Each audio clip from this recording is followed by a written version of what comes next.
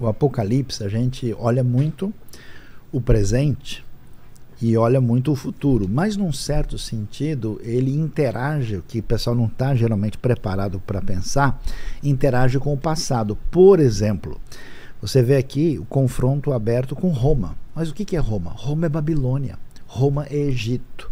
Então esse conflito da ação humana, independente, autônoma, antropocêntrica contra Deus é uma batalha através da história.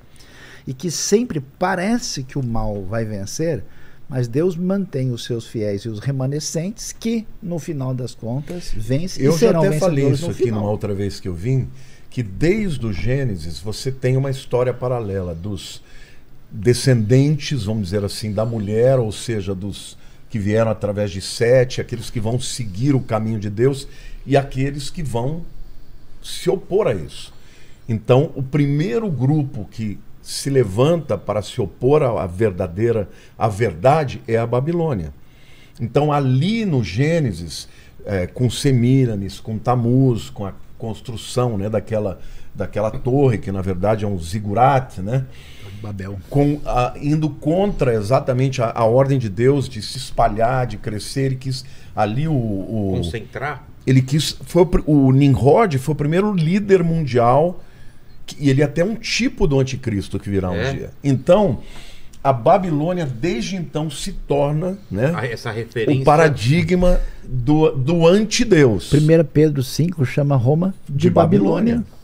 Não, Apocalipse fala da cidade, sete Babilônia como uma coisa maligna. Como, uma, Sim, um como um erro símbolo do poder humano anti-Deus. contra Deus. e contrário à vontade de Deus. Entendi.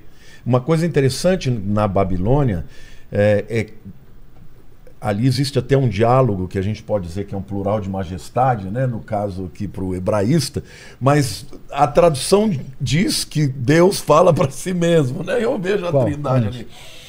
Ah, os homens podem fazer o que eles Ah, quiserem. não, Em Gênesis 11. Em Gênesis É. 11. O que é?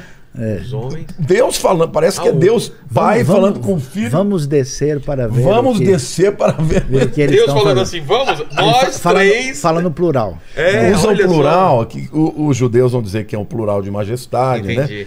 Mas ali fica claro que no diálogo em que Deus fala assim, eles podem fazer o que quiser, se eles tiverem concordância.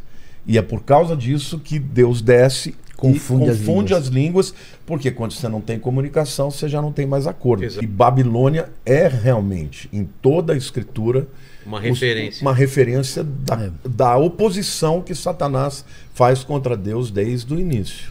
O- o- o- a, a missão de, de Satanás, então, é transformar a Terra E numa lá grande no Babilônia. Apocalipse 18, né, 17, 18, 19, ela cai. E olha, ela é destruída.